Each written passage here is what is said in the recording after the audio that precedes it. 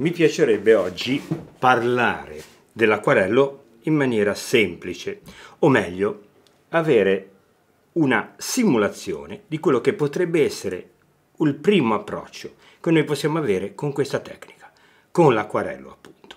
Vedete questi pigmenti sono in delle vaschette e si chiamano Godet, Godet a differenza dell'altro acquarello che si trova in tubetto, ma sono gli stessi pigmenti.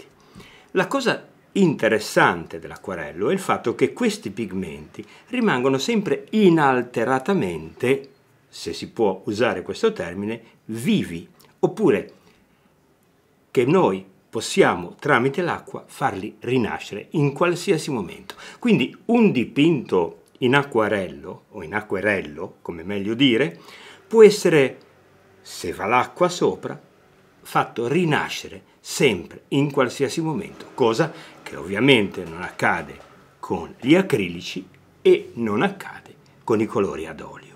Ad esempio, noi possiamo avere un certo tipo di approccio.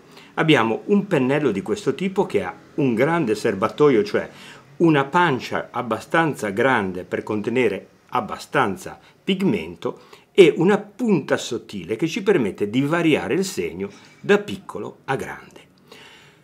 La tecnica dell'acquarello sarebbe strano dire che questa non esiste, o meglio, che le tecniche tutte non esistono. Le tecniche fanno parte di un processo di apprendimento legato alla tradizione.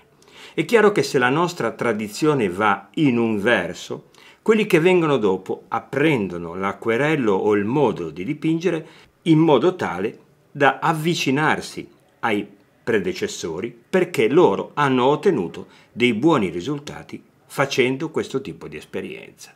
Quindi noi non possiamo far altro che dire che noi ci adeguiamo o meno alla tradizione, cioè seguiamo quello che la tradizione ci dice perché l'esperienza ha giocato un ruolo fondamentale e gioca un ruolo fondamentale sul nostro apprendimento.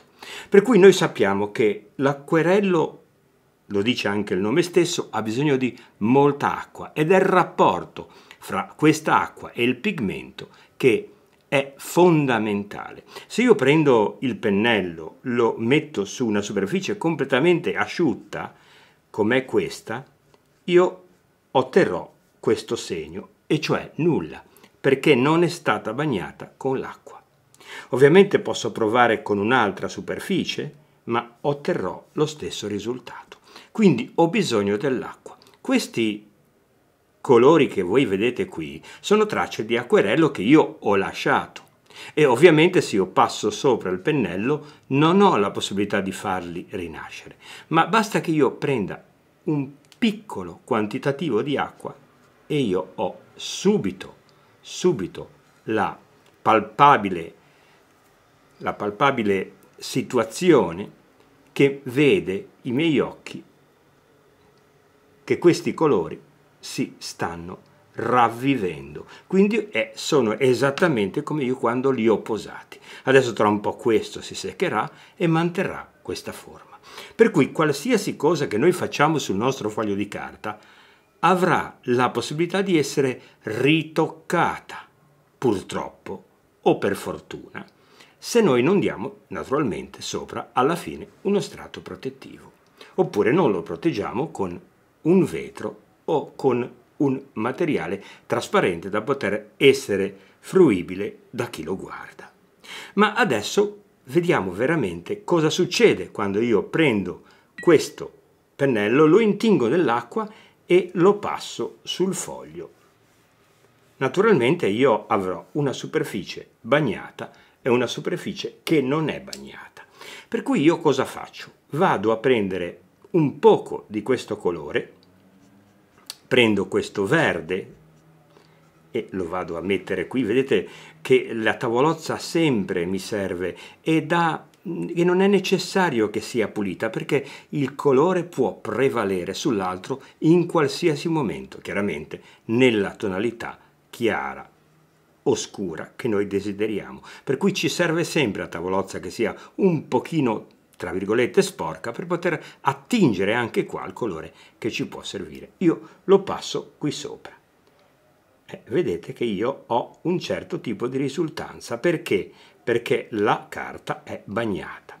Se io lo stesso colore lo passo qui, dove non ho messo assolutamente l'acqua, vedete che l'acquarello si comporta in maniera completamente diversa.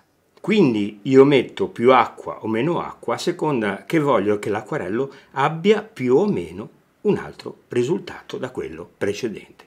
Ma adesso qui la superficie è abbastanza asciutta perché bastano pochissimi minuti e io posso intervenire con il colore qua sopra e non avrò quell'effetto che ho avuto prima naturalmente e quindi vedrete che questo colore rimarrà, rimarrà sempre con una dovuta trasparenza, però non andrà a fare ad, ad avere quell'effetto che ha avuto di osmosi completa con l'acqua. Vedete che starà nel suo perimetro della pennellata.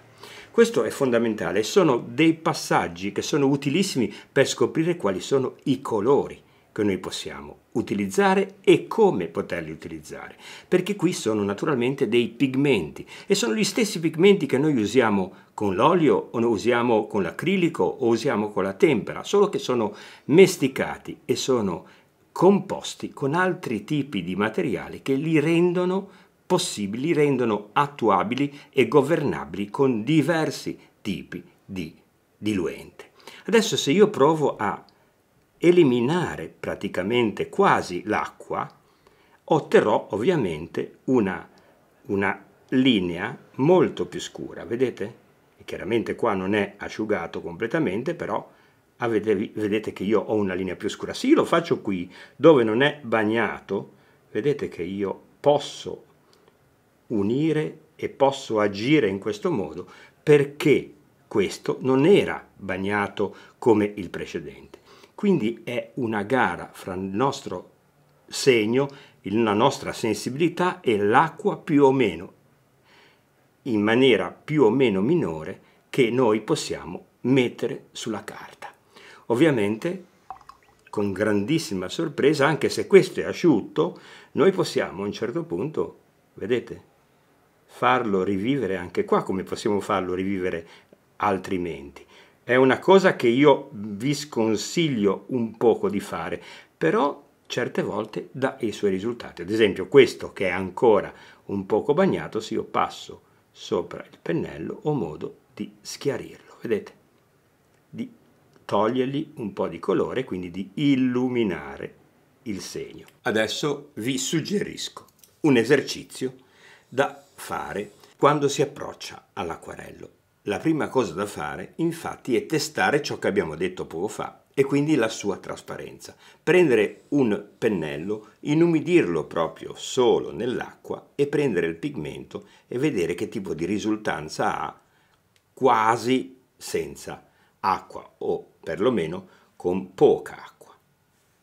Non state a sottilizzare sulle, sulla pennellata in questo momento, dovete solo testare la sua trasparenza. Poi andate con questo pennello sempre sul, sul godet e invece mettete un pochino d'acqua dentro di esso e quindi passate la seconda pennellata. Poi mettete sempre più acqua dentro, ne prendete anche di nuova sempre più acqua e ovviamente meno pigmento. Proprio in maniera molto molto lenta, in modo che la trasparenza, o meglio, la consistenza del pigmento rispetto all'uso dell'acqua sia palpabile. Quindi queste prove servono proprio per riuscire a farci, a farci eh, farci comprendere come l'acqua sia fondamentale e quindi calcolarne la messa sul pigmento e sul foglio sia fondamentale per questo tipo di tecnica. Poi continuate ad aggiungere acqua in questo modo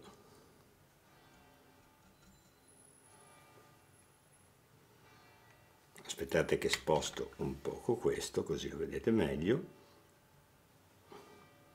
e andate sempre di più a bagnare il pennello fino a che praticamente il risultato sarà la trasparenza proprio completa e finale.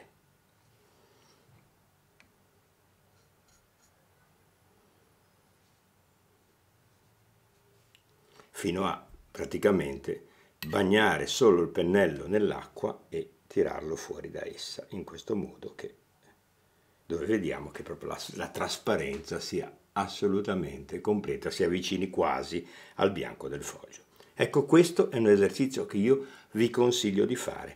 Siate molto decisi, non preoccupatevi se una pennellata viene bene o male, l'importante è che noi in questa fase cerchiamo di avere un approccio per testare proprio la trasparenza del colore e questo potete farlo con qualsiasi colore che voi avete sotto mano e naturalmente anzi è proprio auspicabile che voi lo facciate con tutti perché ogni pigmento si comporta in maniera un poco diversa dagli altri.